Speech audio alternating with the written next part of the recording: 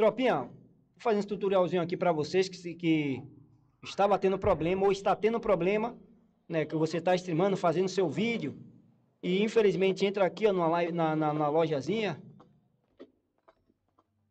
e você se depara com essas músicas. Então como é que a gente resolve? Vindo aqui no ESC, você já veio aqui, apertou o ESC, abriu essa configuração, você veio no áudio, né? Você mexe aqui, ó, desliga, sequencial, não resolve nada. Muda aqui também, rádio, sequencial, e você pode ver que a música, ela continua, né? Você vai pesquisar no YouTube aí, você vai achar alguns vídeos, algum pessoal mandando você baixar isso aqui, ó. Mas isso aqui não vai fazer efeito, pelo menos não vai fazer efeito. Por que não vai fazer efeito? Porque você pode estar fazendo o errado como eu fiz.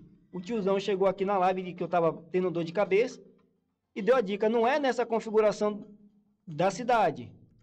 Você aperta o P, e no caso seria o mapa, e aqui você vai vir nessa configuração aqui. E aqui nessa configuração que você vai no áudio, é que você vai baixar aqui, ó. Agora sim. Agora vocês podem ver, cadê a música? Agora sim a música foi removida. O som ambiente todo ele continua normal e a dor de cabeça de músicas e seus, seus vídeos, suas lives está tomando direitos autorais não qualificação estão resolvidos. Agradecer aí o tiozão GTA da Bike, já dá um corre lá no canal dele aí, dá aquela força, aquela morazinha lá, stream também.